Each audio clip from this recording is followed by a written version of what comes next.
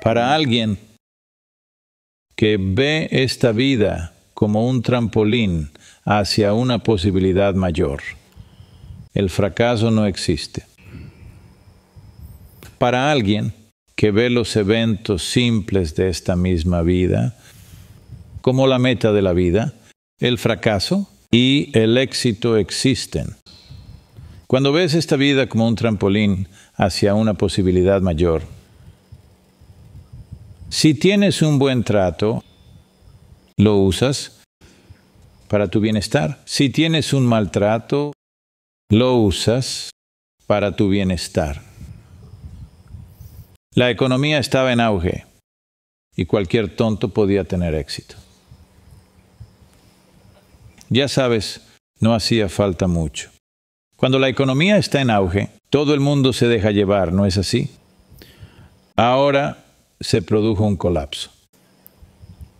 Ahora hace falta algo más para tener éxito.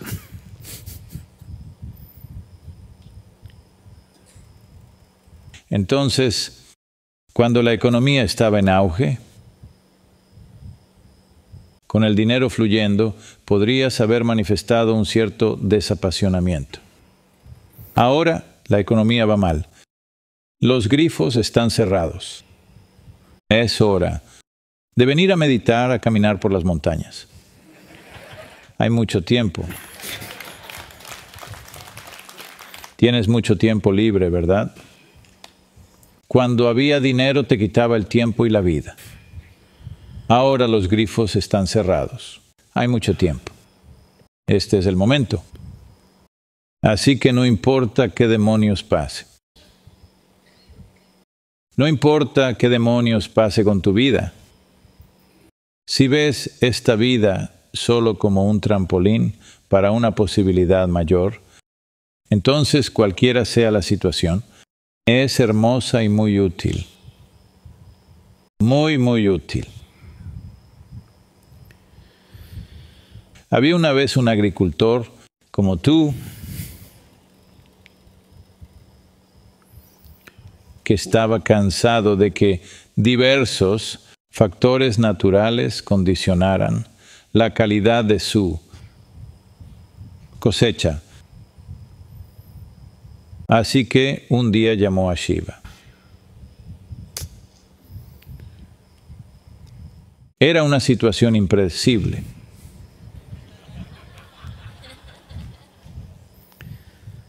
Así que pudo acceder. Shiva dijo.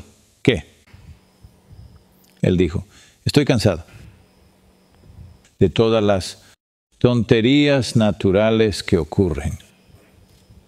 Es obvio que no eres un agricultor. Sé, por la historia, que eras un cazador. No eras un agricultor. No sabes lo que es cultivar. ¿Por qué no dejas la naturaleza en mis manos? Soy un agricultor. Sé cuándo debe llover, cuándo debe haber sol, cuándo debe haber viento, lo sé todo. Tú no lo sabes porque solo eres un cazador. Y una zeta loco definitivamente no eres un buen agricultor. En los momentos equivocados está lloviendo. En los momentos equivocados están pasando cosas. Déjamelo a mí. Shiva estaba de humor y dijo, de acuerdo, la naturaleza está en tus manos.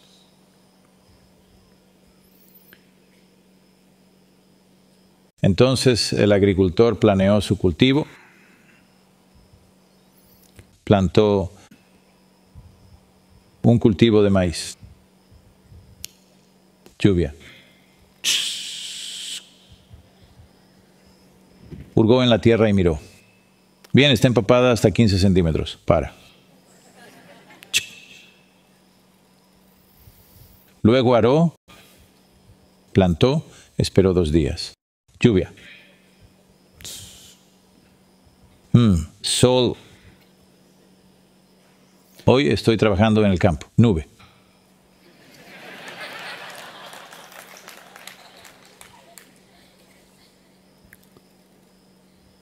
Así que todo sucedió como él quería. Una hermosa cosecha de maíz llegó. Estaba encantado. ¿Ves? Es bueno. La naturaleza debe estar en manos del agricultor. Y luego, cuando llegó el tiempo de la cosecha, quiso ir a mirar porque no venía ningún pájaro. Se sorprendió, aunque también había dicho, nada de pájaros. No había pájaros. Entonces fue y abrió, vio todo bien y grande, pero abrió y vio ningún grano dentro. Entonces pensó, ¿qué demonios es esto? ¿Qué hice mal? No lo entendía porque la lluvia, el agua, el sol, todo lo había gestionado apropiadamente. Entonces volvió a Shiva. Pero él estaba en esta condición. Esperó muchos años a que abriera los ojos, para cuando su, ya sabes, todos estos años, los campos y la familia, todo se fue al... Pero quería saber la respuesta. ¿Qué salió mal? Ante todo, él era un agricultor. Entonces, cuando Shiva abrió los ojos, preguntó, hice todo bien, pero no hay grano. ¿Saboteaste mi cosecha? Shiva dijo, estuve observando. Tú hacías, estabas a cargo, así que no quise interferir. La lluvia estuvo genial, el sol estuvo genial, todo estaba bien. Pero paraste todos los vientos. Yo solía enviar siempre vientos feroces que amenazaban tu cosecha. Pero como las plantas se sentían empujadas y amenazadas, hundían sus raíces más profundamente en la tierra, por lo que se producían los granos. Ahora tienes una gran cosecha de maíz, sin maíz. Así que las distintas situaciones de tu vida, puedes usarlas para hacerte más fuerte y mejor, o puedes sentarte y llorar. Esta es la elección que tienes todo, no importa lo que pase, el evento más horrible que suceda en tu vida, también puede ser usado para tu crecimiento y tu bienestar. Solo si ves con claridad los pequeños eventos de tu vida. Cuando digo los pequeños eventos me refiero a tu negocio, a tu matrimonio, a tus hijos, a todas esas grandes cosas. Todas estas cosas son solo un trampolín. Esto no es nuevo para ti, porque en esta cultura te lo han inculcado durante siglos, durante milenios. Te han dicho, tu vida es sobre mukti. Tu matrimonio, tu negocio, tu vida social son solo medios para llegar allí. O vas con ello o vas sin ello.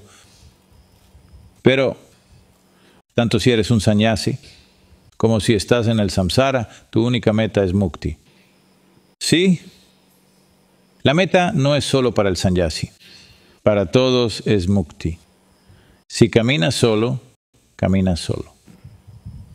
Si quieres que la fiesta te acompañe, caminas con la fiesta. Esa es tu elección. Si quieres llegar rápido, caminas solo. Si quieres llegar haciendo picnic por el camino, despacio vas con gente.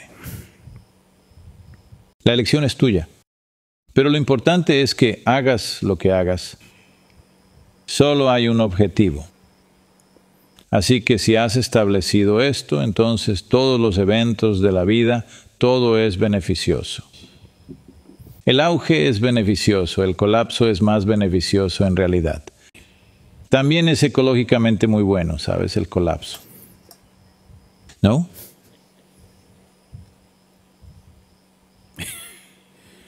Así que el miedo al fracaso, el fracaso ya es malo de por sí. El miedo es añadirle picante, ¿no es así? El éxito te llega no porque lo desees, sino porque te lo ganas. Todo el mundo lo desea. Solo te llega si eres capaz, ¿no es así?